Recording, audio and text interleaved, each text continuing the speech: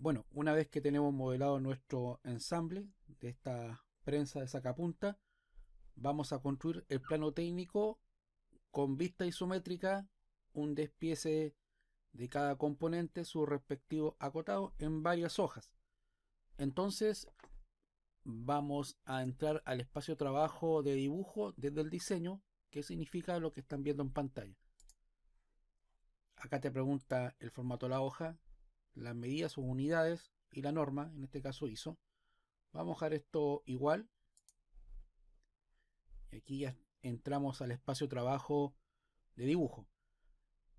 Lo primero que voy a hacer en este soporte, vamos a trabajar con las vistas isométricas. Voy a colocar tres vistas isométricas.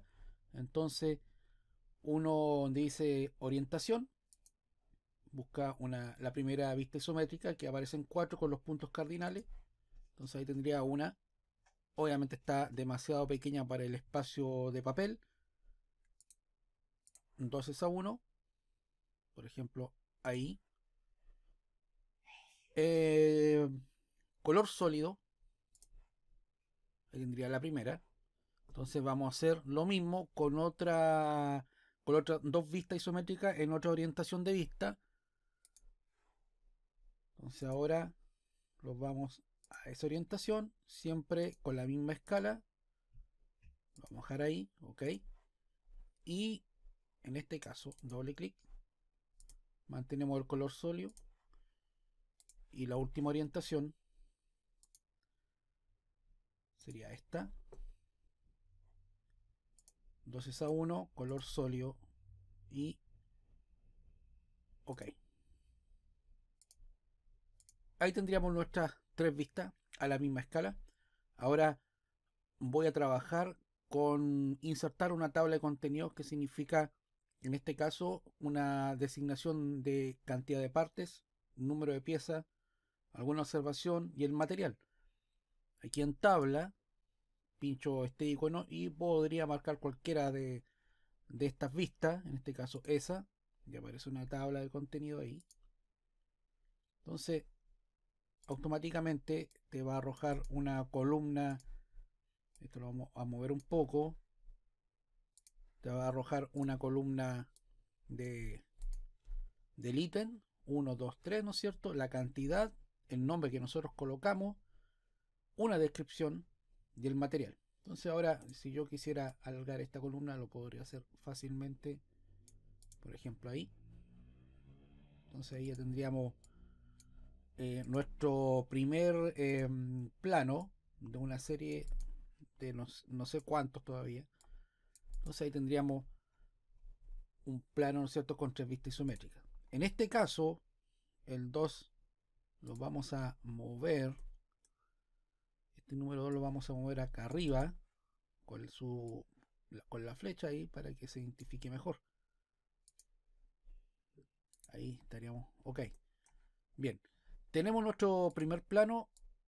Voy a agregar otra hoja. Entonces estamos en la hoja 1 de 1. Agregamos una otra hoja acá abajo. Y esta oportunidad vamos a mm, insertar o vamos a acotar solamente eh, la prensa. O sea, en este caso sería el, el, componente de color verde que aparece acá. Entonces vamos a trabajar solamente con él. Lo vamos al dibujo nuevamente me voy a la inserción de base de vista. Por defecto siempre Fusión tira todo el ensamble. Entonces vamos a hacer lo mismo. Vamos a aumentar la escala. Lo vamos a pinchar por ahí. Aquí hay un detalle. Lo vamos a dejar ahí con línea eh, color sólido, líneas ocultas, ok. Entonces, ahora siempre eh, al momento de insertar un ensamble aparecen todos los componentes y yo voy a trabajar solamente con el componente color verde que sería la prensa. Entonces acá desactivo los otros componentes y ahí trabajamos solamente con la prensa. Ahora, ¿qué, tengo que hacer con esto? Eh, generar eh, obviamente el, plano de, esta, de este objeto. Entonces lo primero voy a hacer una vista en proyección aquí abajo. Inmediatamente vamos a trabajar con las cotas. Primero vamos a trabajar con la vista de planta, marcas de centro y voy a acotar de este centro donde nace eh, esa media circunferencia. Aparece por defecto dos decimales, lo vamos a cambiar acá abajo por un decimal ahí. Ahora que tengo eso, me gustaría hacer un detalle constructivo aquí, porque si yo acoto con esta altura de texto, em, se va a ver muy apretado y podría, podría ocasionar confusión al momento de construir la pieza. Entonces, vista en detalle, me acerco ahí. Y ahí hago una vista en detalle. Y la vista la podría colocar acá. Color sólido. Ok. La letra, esa letra la podría alargar un poquito para que se vea la línea eh, conectora. Ahora, aquí aparece 4 a 1, ¿no es cierto? Cuatro veces más grande que el original. Marco, eh, marca de centro. Acá eh, vamos a acotar algunas cosas. Por ejemplo, marca de centro aquí y ahí. Que sería eso que ustedes ven acá? Sería en el modelo 3D. Voy a acercar aquí al modelo. Sería esta distancia que estoy marcando. Entonces ahora me voy a cotas y voy a acotar esa distancia de centros. La voy a dejar afuera. Ok. Una cota de diámetro. Una cota exterior. En este caso no se debe acotar nunca en horizontal ni vertical, siempre en diagonal, así o acá. Por ejemplo, ahí. Aquí tengo otro radio. Tengo un ancho acá. Tengo una dimensión donde nace la primera curva. Acá es al borde, ya que no es, no es una circunferencia perfecta, hay un corte ahí. Ahí está mal acotado, voy a acercar un poco. Vamos a acotar nuevamente. Vamos a acotar ahí en diagonal, pero después lo rectificamos en formato horizontal. Otra marca de centro, por ejemplo, ahí y acá. Bien, tendríamos yo creo acotado esas cosas. Falta aquí el radio interior de esto. Entonces, acotamos acá, lo vamos a sacar siempre afuera. Em, creo que no faltaría nada. Esto viene por un empalme, así que se acota solamente el radio. Ahora acá, esta parte que ustedes ven aquí con líneas segmentadas, si yo voy al modelo, es el nervio estructurador que aparece acá abajo ese nervio es lo que ustedes ven acá arriba. Entonces vamos acá nuevamente. Acotamos el ancho de este nervio. cierto? Acotamos este radio. Vamos a dejarlo aquí en un diámetro. Por ejemplo, no, vamos a dejarlo en radio nuevamente. Ahí.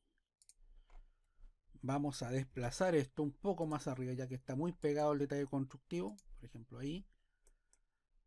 ¿Ok? Hay una distancia que tenemos que manejar que es del centro. Vamos a acercar a donde termina el, en este caso el nervio estructurador. Lo vamos a dejar ahí. Perfecto, ahí tenemos ya una gran cantidad de información para poder trabajar. Ahora, esta vista, que es la vista principal, yo la voy a desplazar un poco hacia arriba y voy a crear una vista de proyección frontal. Sobre esta vista frontal de proyección voy a crear ahora un detalle o un corte. El corte en este caso, se va a ver acá, reflejado acá. Em, ok, se ha rayado esto. La letra B que está acá, ese lo vamos a desplazar hacia arriba. Ahora, ¿para qué me sirve esto? Obviamente para poder acotar de mejor forma las partes interiores, que es una perforación, donde pasa este, esta barra roscada que está en L. Eso es lo que estamos acotando acá. Entonces, vamos nuevamente acá. Línea de centro. Acotamos el diámetro interior. Ah, aquí aparece 5,5. Doble clic. se ubica uno delante del 5 en este caso y coloca el icono de diámetro. Entonces ya sabemos que es un cilindro. Vamos a hacer lo mismo en la parte de abajo. Entonces de este extremo a este otro extremo. Vamos a ver qué pasa acá. Vamos a hacerlo nuevamente.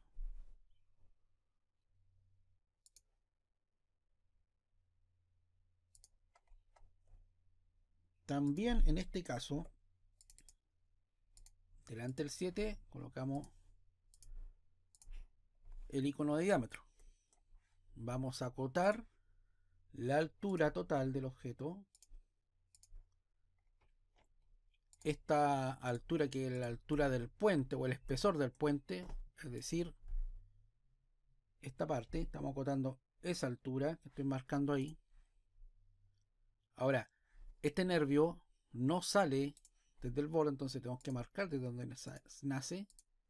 Y también acá, ¿se fijan? No llega al fondo.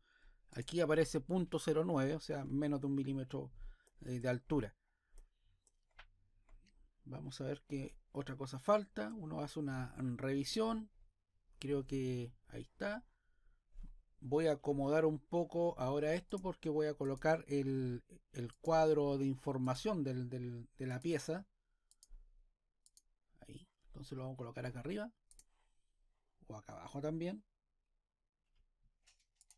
Entonces ahí aparece. ¿Se fijan?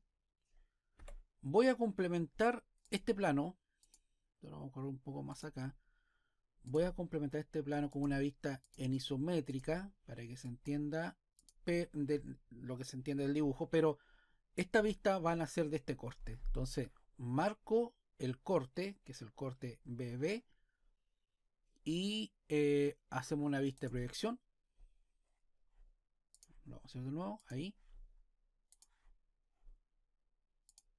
Perdón, es acá y la segunda. Ahí aparece una vista en proyección. Lo voy a marcar por acá. Entonces es el, lo que se ve del corte. Obviamente acá hay un espejo refleja, ¿no es cierto? Y sería la, segunda pieza. Voy a hacer un doble clic a ver si lo podemos agrandar. Un 12 a 1. O tal vez podría quedar muy grande. No, está bien así. Aquí tendríamos el, la primera pieza agotada. Voy a hacer unas marcas de centro que me faltan por acá para complementar. Ahí. Perfecto, yo creo que no sé si falta la otra cosa. Bueno, hay que llenar toda esta viñeta, pero eso lo podemos hacer después. Otra hoja, pero esta vez vamos a insertar eh, la barra que está doblada en L y la tuerca de mariposa o paloma, como quieran llamarla. Entonces, en esta hoja, que es la 3 de la 3, ubicamos nuevamente el, ensamble, color sólido, escala 2 a 1, lo vamos a dejar ahí. O podríamos aumentar la escala si quisiéramos. Vamos a ver si un 4 a 1, muy grande. 12 a 1, lo vamos a dejar ahí. Ok. Entonces ahora eh, hacemos desaparecer la tuerca y la prensa para que quede solamente la barra doblada un cajetín, ¿no es cierto?, informativo de esta pieza. Agotamos acá el largo del hilo. Lo acercamos acá. Ahí me equivoqué. Nuevamente. Vamos a hacerlo de nuevo.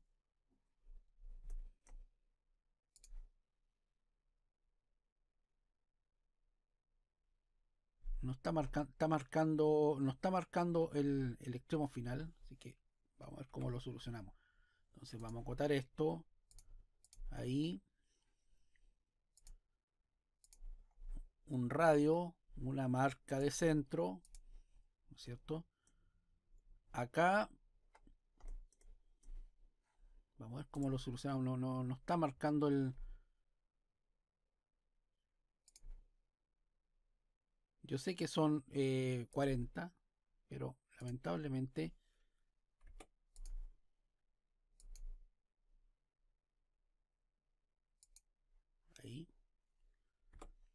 faltaría una dimensión a la marca de radio. Este radio lo voy a ver si lo puedo desplazar hacia afuera para que no moleste eh, la cota. ¿Qué falta acá? Falta algo muy importante que es el, el diámetro.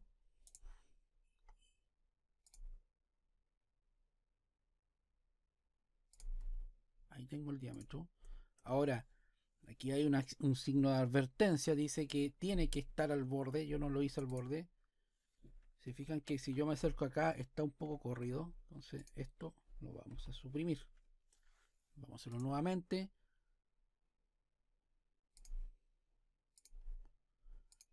Ahí aparece 4,9. Voy a hacer un doble clic. Pero yo no sé si podemos eliminar esa cota o suprimirla.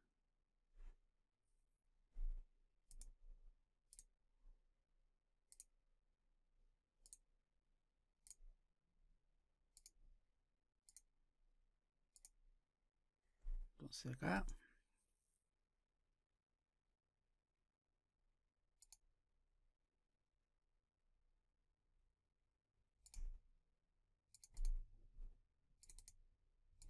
es un métrico.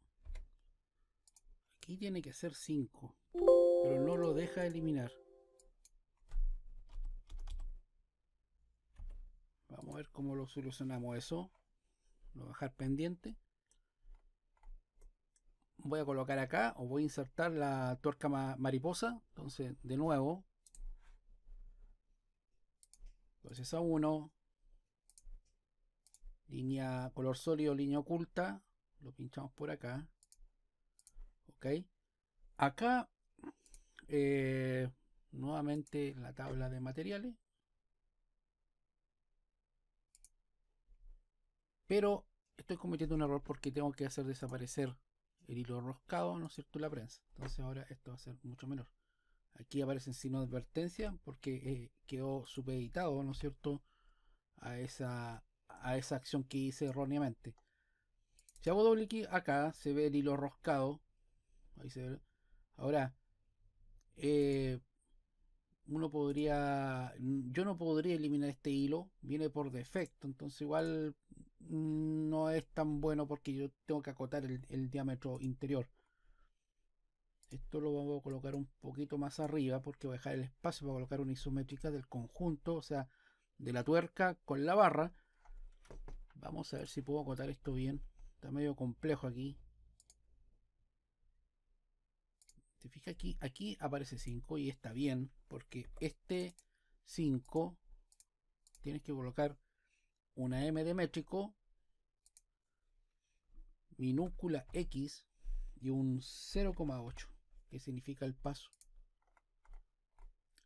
Acá hay 5 y acá debería haber marcado 5. No sé por qué no está marcando el 5. que, tendría que verlo. Bien, tenemos eso voy a insertar acá em, una vista isométrica de ambos dos objetos, pero nuevamente insertamos el ensamble, buscamos una vista isométrica, por ejemplo esta, aumentamos la escala, ahí, color sólido, y acá, se fijan, prensa afuera, y ahí va a quedar solamente la barra. tenemos eso. Tenemos tres planos. Ahí están, tres de tres. Vamos a guardar esto. Prensa sacapuntas eh, en, la, en la carpeta o proyecto de housing o, carcasas plásticas o piezas plásticas. Save. Ahí ya se grabó. Ahí está guardado. ¿No es cierto? Acá tengo una primera vista de vista isométrica, una segunda de lo que es el, la prensa en sí, la parte plástica. Ahí aparecen lo que es.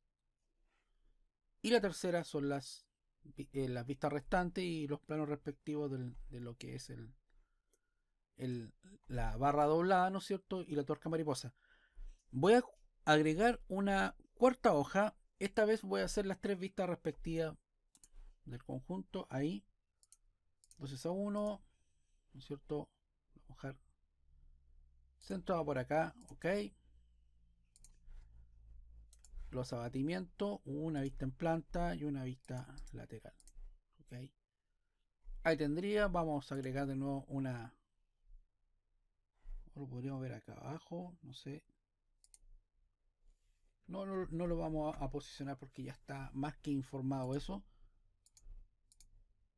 Lo que uno podría hacer con esta vista es colocar algunas medidas referenciales más que nada, pero eh, por ejemplo una altura general podría ser si yo quisiera embalar esto necesitaría saber cuánto es la medida del embalaje eh, o el ancho por ejemplo aquí y acá ¿no es cierto?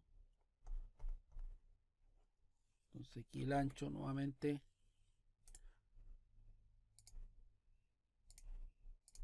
ahí y lo vamos a desplazar hacia afuera también para ver un posible embalaje voy a colocar una una línea de centro ahí está bastante corta entonces ustedes lo pinchan ¿no es cierto? y creo que se podría alargar no estoy seguro hay una flecha que ahí y acá ¿me fijan? es el mismo ancho acá eh, más que nada eso. Ahí tendríamos los cuatro planos. Vamos a grabar. Ok. Eh, esto que está acá. Esto que está acá. Vamos a ver si lo podemos llenar acá. Entonces doble clic. ¿Cierto? Editamos el blog. Entonces vamos a ver cómo se, se hace esto. A ver. No, no, no recuerdo mucho. edit em,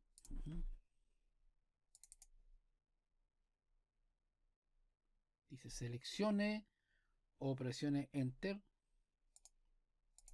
ah perfecto. Directo sobre el, archivo a ver. Referencia técnica em, más que nada fusión 360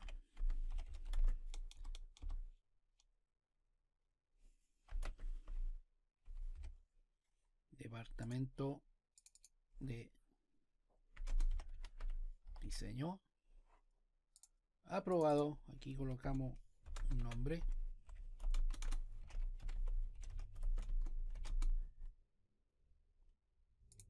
dibujo número 52 fecha hoy día estamos a 06 slash 09 slash 2018 documento status vamos a colocar acá no sé escala en este caso es colocar escala. Perdón. 2 es a 1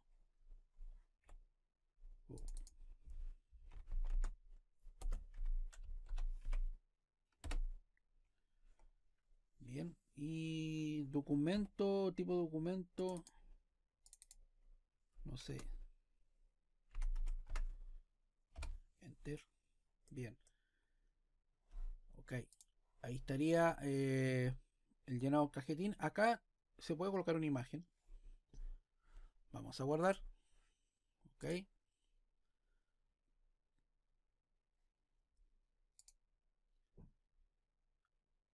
Eh, hay un detalle acá que no sé si se podrá solucionar porque en la primera hoja llené con lo respectivo. Pero la segunda hoja hay que llenarlo nuevamente. Entonces, e, esto sería una lata.